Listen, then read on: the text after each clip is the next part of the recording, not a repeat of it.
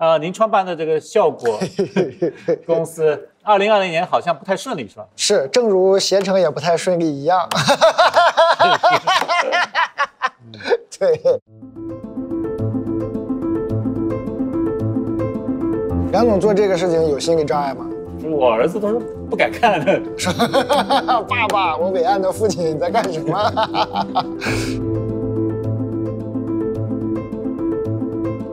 要不是这个时代，李诞这么懒的人能有饭吃吗？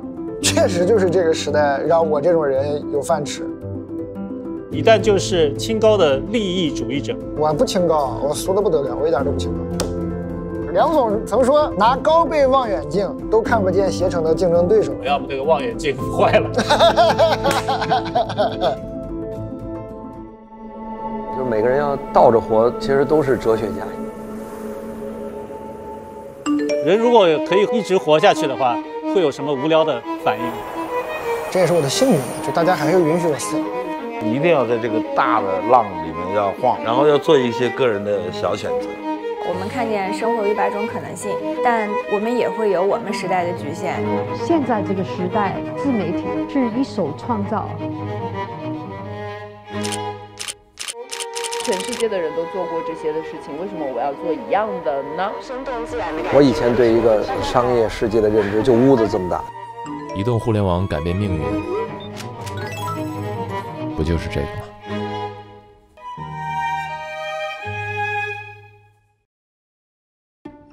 他是育才中学初二学生梁建章，理工男对吧？搞学计算机的，后来。做企业，后来又去做经济、人口。因为他最近有在很努力的去写段子和呃演出。何必呢？为啥呀？大家好，我是携程大导游梁建章。我给大家创造一首大象的诗：象象象，举臂如舞棒，大耳扇左右，粗腿。住四方。过去一年就搞直播，用比较好玩的、丰富多彩的方式去介绍我们的旅游产品。如今我走过两万五千里，出妖魔、出鬼怪真的不容易。我们现在还是大部分时间是在做企业了，这个学生还是很忙，尤其今年疫情期间有。很多的这个挑战，我是希望有不同的形式吧，不同的风格去打动大家的啊，无论是旅游还是人口。鹅曲项向天歌，哎，不对不对，没搞错，那是鹅的诗。这词儿应该不是梁总自己写的，太多怪词了，就是什么东西是口语，什么东西是文字稿，还是一听就能听出来的。但其实我呃几年前就很爱读他写的文章。非常好，他写文章是没问题的，那个理解起来就友好了一些，对我们这些智力不高的人。在你的认识里，大概是一个什么样的？嗨，大家好。他因为做作为一个文旅产业里面一个很大的一个创新嘛，能够把 talk show 做成一个成功的一个商业模式。他也是个跨界的人嘛，他写了很多书，编了很多故事。那我对他的一些人生经历，怎么样做到这个事情，也是非常感兴趣。他们今年应该也挺不容易的吧？就看看大家都是怎么活下来的，我学习一下。杨总，哎，你好，你好，又见面了，又见面。我今天我演了一下，主要是推广天津。哦，天津，我演了一段顺口溜，跟说天津旅游的相声。我发觉，对我以前当然没演过，我发觉相声比。单口要容易得多，单口它难度可别这么讲，可别这么说，可别这么说。他这个段子是我写的。哦，您那视频号发那些基本都是你自己写的？对对对，段子我写的。我们还演了一些什么小品啊什么的。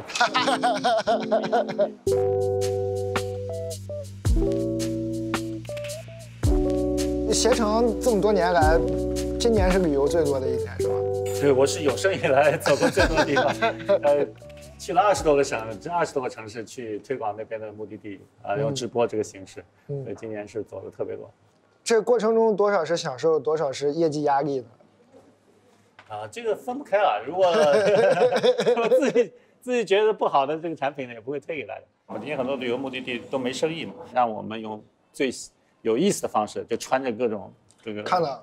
然后 来吸引眼球，来推广目的地。我看您那个视频号了，其实这是两回事儿。就是您那个视频号呢，如果是从带动销售、呃介绍目的地的角度来说啊，其实您那个是更有效的，进入更轻松、更更快，一目了然嘛。大褂一出来就是大褂，西双版纳一个小巷出来就是小巷。那我们做的话，它进入就不是这个逻辑了。那这些都没法跟你比啊，对吧？我们都是其实还是最有效的，能够传播的，让大家印象深刻的，还是用幽默，就让人搞笑。嗯，杨总做这个事情有心理障碍吗？我一开始是有，还是有的，也需要一个解放天性的过程。对对对，家里人也觉得你家里人还有家里人的压力，这个是 家里谁给你压力了呢？就是我儿子都是不敢看的。多大的儿子？二十岁。啊，二十岁是正是不敢看。小的三岁，他倒无所谓。二十岁正是害怕自己的父亲给自己丢人的年纪，说 爸爸，我伟岸的父亲你在干什么？尤其二十岁，他还不太能理解。不过我觉得旅游就应该这样，应该是这样。现在你知道有些景点，它除了门票收入，最大的收入就是租衣服，它其实很多人都愿意去深度体验当地的，当然文化。这我是我特别能理解，因为就得这样。其实出海玩就是一个要打破社会身份的过程。对对，我都出海玩了，我还端着干嘛呀？我就一定要怎么傻怎么来，怎怎么解恨怎么来。那您会有所谓的企业家人设什么这种东西吗？企业家人设跟比如说 CEO 人设不完全一样。就如果是个大公司 CEO。尤其是职业经理人的话，他会比较一个固定模式，因为他对股东啊，对他的员工啊，他可能说话他的一个形象标准都以比较的相对稳定跟保守一点。但企业家 就不一定，因为他可能会更有发散性的一个想法吧。就尤其是他做他是靠创意的，就像你们的创意产业、文旅产业的话。感想的企业家应该是有他特别的一个不同的、丰富的个性吧，就创新精神。对，嗯嗯嗯。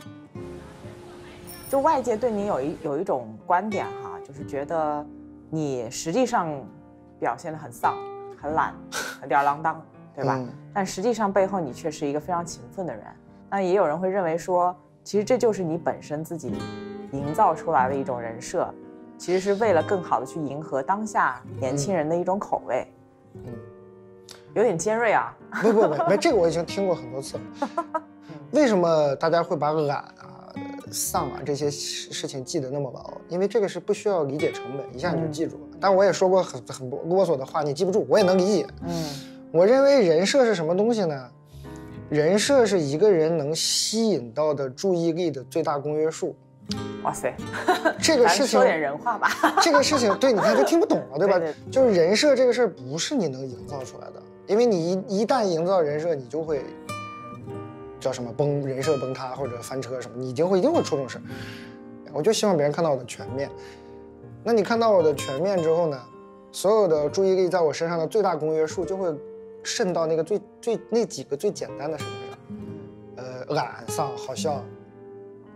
就长得丑，眼睛小，就这些东西嘛，就，他就他就就这几个事儿，他就记住了，这很正常啊。这是我们对所有人，尤其公众人物的理解就这样。那没办法嘛，那那最大的公约数是那样。你随着你对这个人的了解，哎，你发现哎，他怎么还有这些面儿？哎，他是不是骗我，是吧？哎，他呃会不会是故意的什么的？你去解释这个是解释不清的。最后想理解你的人是会理解你的，那不愿理解你的人，其实你你费尽心血跟他解释，他也不会理解。你就拉长时间看就好了，这才哪到哪儿，慢慢的大家就大家就知道了。嗯，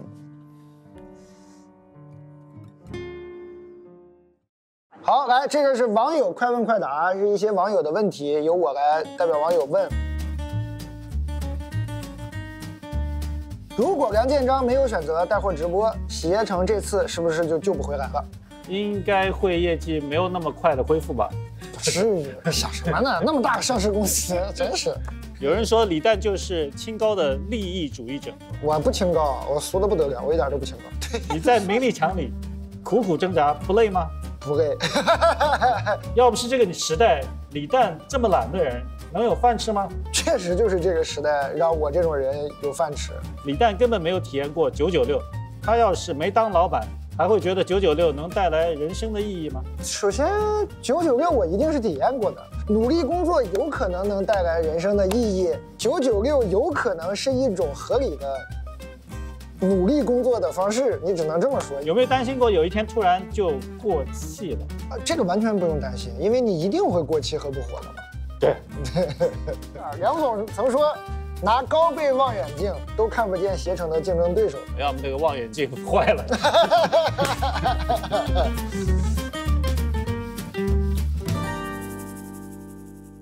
那梁总一九九九年创业的时候。我怀疑我那会儿还没用过电脑呢，就是那会儿就开始做互联网，那那是个什么样的环境呢？对，那个时候互联网只是能够收一下邮件嘛，嗯，中国是刚刚开始，所以那时候无论你买东西或者是出去旅游，你要安排的话，都是通过传统的旅行社，只能跟团，所以非常不方便。所以这个也是我们那时候为什么做互联网旅游的一个重要的原因。就是后来我们做了以后，才能够通过网上去预订酒店啊。我是听过一个江湖传说，就是您不是离开携程去深造了几年嘛，然后好像携程的业绩呢就出现了下滑，然后突然您回来整顿公司，推了一块我们公司里都能见到的移动的那个白板，嗯，就走到一个一个会议室，一个一个部门给他们梳理，就这样把公司用几个月时间又整顿回来了。这是真的还是假的？我要求证一下。参加很多会，这个是对的。这个这个一开始就是公司很多事情，因为那时候正好是移动互联网爆发的时候，嗯，所以我们特别紧迫的要抓住这个时间窗口，也就是是一两年的时间。所以我亲自参加很多移动的功能的移动 APP 的功能的开发，所以跟他们在在讲。嗯，啊，我觉得这个有点夸张，但我们做的一件事就是，特别是就我从此以后不看任何。有 PC 的这种这种 screenshot 就是截屏的 PPT 了。一旦谁给我做 PC 的截屏还是 PPT，立刻停止，重新回去重做。因为那时候移动才占我们整个收入的可能只有百分之十多，但增长非常快。我说，三年以后一定是百分之七十、八十，甚至后现在到百分之九十。所以所有的 PPT、所有的汇报都要用移动的截屏、手机的截屏来做。啊，这个贯彻下去，这个是就最那时候。比较高效的把大家这个思路转了过来，就全力以赴的做移动。聪明，哎呀，那多少用户在移动互联网上消费呢？就是在携程这一点，基本上全部是全百分之百了。A P P 在线上交易了。对旅游行业并不了解，其实他只是说一个智力上的判断。经过调查说，旅游行业可以发财，而且很适合当时的互联网环境，就电子支付没那么复杂。这这个这是很很很很很聪明的一个方式嘛？我觉得梁老师就是能想明白的人。自己现在在拍一些视频号什么的，那这个有特意研究过什么年轻用户的习惯吗？还是？那现在其实他你，他就比较被动接受，就是你跟推给他什么，然后他看着朋友圈推给他什么，或者他直播看到什么，而且都非常短。以前可能还要看一个详细的介绍文字，现在就是看一个照片或者几。秒钟的视频，哎，他就种了草，他就会想去啊。哎，说完好像我也是这样。嗯，其实你到个当地，甚至发个朋友圈就解决了，是吧？发个朋友圈说我在哪哪哪儿，哎呀，我来过的朋友们，我应该去哪哪哪儿，哪好玩哪好吃。其实，在朋友圈经常看到都是这样旅游的。对对，更加随性嘛，就就这个也是整体产业的一个提升。我特别有印象，就是微信是这两年起来特别快嘛。就有一年微信起来快以后，以前的春节都是淡季，因为大家都回家。哦。那一年春节就是互联网，微移动互联网，微信出来以后，大家都在网上啊朋友圈里分享去的地方，然后那一年开始就是真的是我说是互联网旅游的一个转折点啊，这是一个现在年轻人玩法的一个变化啊。但是你觉得微信有了之后，是让人和人之间距离更近了呢，还是更远了呢？当然是更近了。我是不接受什么从前车马慢那一套的人，我觉得那个就很扯。我是我是觉得技术进步是非常好的，人对信息是一种刚需啊。这个是可能很多人不理解啊，啊，你你你上厕所的时候你就理解了，你上厕所是不是不看东西特难受？就是你如果什么都没拿，你现在都可能都回忆不起来自己没手机的时候上厕所在干嘛了。人不能跟人性抗衡啊。当然，我们只能说手机或者移动互联网过分的、过于充分的满足了人性。为什么是过于充分的呢？就太方便了嘛，就很爽嘛！你现在就是，其实我们现在过的是一种非常爽的日子，有点过分了，其实。但是不应该这么爽吗？你觉得？我是觉得应该啊，但是，但有人就贱嘛，你过分的满足了，他又抱怨说：“哎，你为什么让我这么爽？我要写信，我为什么想我妈就能跟我妈视频？不行，我要我要写信。”我也能理解，因为 人就这么贱，有时候我也会这样。最初是怎么样去想到去做这个 talk show 的？就只是因为自己比较擅长写和，呃，说这破玩意儿吧，就觉得那我擅长就做嘛。后来什么时候开始正式把它当做一个商业模式？其实就是这两融资啊，什么写商业计划，那都不是做过没有？都不是我，那我们有合伙人，我们公司 CEO 来做。啊，你不是公司 CEO？我不是，我是我们公司的叫内容管，因为我不懂什么商业股权什么的，我都不懂。不会，真的，我就是闷头做那个预测。这个十年以后，中国有多大的这个产业？他们有过预测哦，你还不记得？我还不记得。我其实应该记，但是我会刻意的把这些数字都忘掉，因为我是做我是做内容嘛，我我专注在内容上，我就怕那个数字干扰我，因为我也不管，就是租场地什么我也不管，这些事我都不管，我就只知道我可以把内容做好。你让我去想场地，想什么商业变现，我就我觉得就乱套了。对，如果你专注做一件事，我也是这样，往往你会超出自己的这个预期，会做得特别好。其实。很早就觉得国外的 talk show 很受欢迎嘛，嗯，那中国一直没有，直到最近几年，也就是最近你在搞的时候，把这个模式就商业化搞得很成功。为什么你介绍一下，为什么是现在中国能搞起来？为什么你能搞起来？很简单，就是消费升级，其实就是消费升级了，就跟您当年洞察到旅游业的那个爆发吧一样的，其实就是一个不可逆的城市化。脱口秀它就是个特别城市的一个，嗯，或者说一个都市的一个文化形式，因为它就是在酒吧嘛。它的原始形式可能就是今天有一个人，比如说我是个牙医，我上了一天班我很累，我遇到了各种各样的人，我有一肚子牢骚，晚上走进酒吧上台把今天的事儿讲了，这就可能就是原始形式，就是特别都市的东西。呃，意思就是它需要有巨大的信息流。就是他这个职业肯定是在高度职业分工里产生的。您像您看我们节目的话，其实有很多程序员啊，什么各种各样老师什么的来做这个事情，因为他有高度的职业分工。对对。然后呢，你每天接受大量的信息，所以我有一个极端观点嘛，我就觉得每个人都可以做五分钟脱口秀演员，至少生活在一线城市的朋友，你你肯定是可以，你都不用训练，你现在就可以。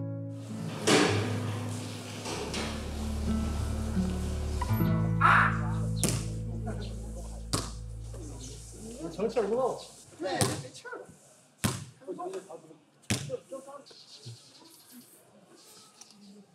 我们今天有一天有个脱口秀演员，在这绕着这个三分线投篮，从那个点一直投到这个点，一二三四五六七，连中七个，七个点，连中七个，那可以。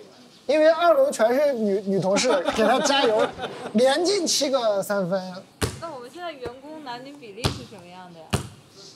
不知道啊，女孩子多吧？这个行业就女孩子多，我不知道。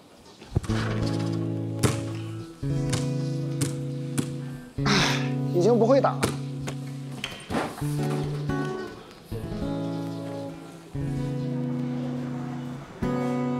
你的观众都是二三十岁的这个年轻人比较多，他们在观念上。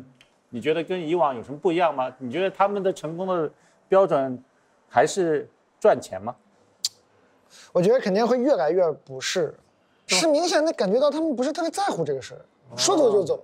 对，给工资高也没用。对你不光是给钱，你还得这事儿还得有意思，这工作环境还得优优优雅，然后呢，还能到处去考察旅游，同事之间呢还得快乐。对，我有一天去开会，吓傻了，我就一推门，坐一帮小孩儿，全不认识。然后我说不好意思打扰你们，我能不能了解你们都哪儿来的？全是实习生，什么剑桥的、哈佛的。我我说我说你们来干什么？说喜欢做脱口秀。我说你们，你爸你妈知道你们在这儿吗？你们这么好的学校出来，你为什么要搞喜剧？你们都赶紧出去找别的工作。但这个还是要天分的。我觉得 写段子跟那个掌握这个幽默的这个节奏，没这这个肯定是天分的话，就是小时候发现。我的天赋呢，就是从小嘲笑这样的好学生，就 笑嘲笑的特别好，可以率领全班的同学一起笑话你，然后 就你就嘲笑 全世界那些学霸，然后就。对，然后最后你看是吧？一携程的老板，还有一个谐星，就是最后长大以后就沦落成这样，很正常。小时候就这样，你就很早就发现了。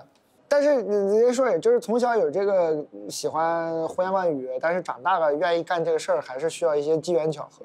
我越来越有点绝望的发现，就是我们一开始聊，就是做喜剧要不要天赋这件事儿，就是越来越觉得我们这个行业是一个发现的行业，而不是一个培养的行业。嗯，我们无法完成从零到一。就是我发现你的时候呢，你就你你就得是零点一。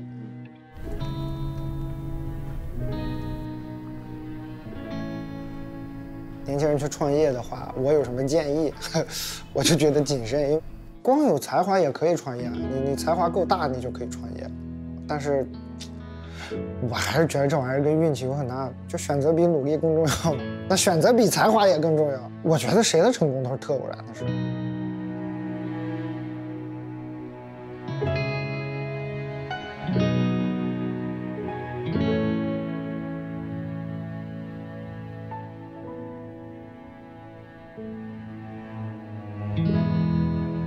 呃，您创办的这个效果 公司，呃，二零二零年好像不太顺利，是吧？是，正如携程也不太顺利一样。对，虽然我们很小很小，但是遭受的打击差不多，只不过对我们来说可能更致命一点。首先是线下的停滞嘛，就像旅游的停滞一样，线下的停滞，还有一些核心员工的问题。只不过我们的核心员工是他就是艺人，所以这个问题会放得更大。但现在听说还是一票难求啊。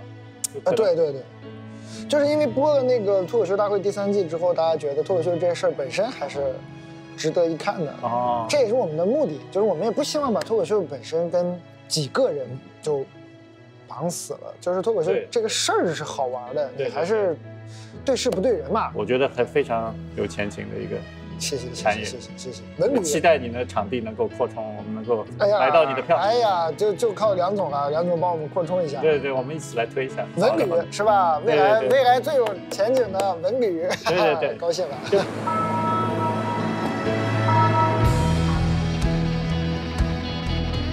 啊，当然，中国这个产业是刚刚起来了，才有很多的这个变数跟未来的想象空间，这个也是是它的魅力所在。比较有意思的就是未来怎么样跟旅游结合起来。就旅游的话，其实也是一个文化的一个传播嘛。就文化如果能能够幽默的方式的话，会传播的更好。我最近写了一本小说，就人可以活，永远活下去，永生了，然后带来一堆问题。就永生之后，永生之后，永生之后的无聊生活是什么样的？是不生孩子，不谈恋爱？还是说谈很多很多恋爱？我会学习。这个是一个很有意思的话题。这个我要回去好好。对，我也对买一本你的新书。我的应该送给你。后场，后场，对，等候的后后场。哎，我可以拿过。高高呢？高高不见了，我的经纪人，谁帮我找一下？嗯。你认为是美国念文科的多，还是中国念文科的多？应该是美国多吧？对啊，肯定是。嗯，美国多，他幽默嘛，他就多嘛。他说你看，是吗？我觉得理工男也会很幽默。现在不是说有个叫叫派型人才？派型，以前叫梯型人才啊，派型啊。梯形就是什么都知道一点，还有一项是钻得很深的。现在是什么都知道一点？还有两项算算的的很深啊！这这个也太难了，这有点难啊，这要求有点高了。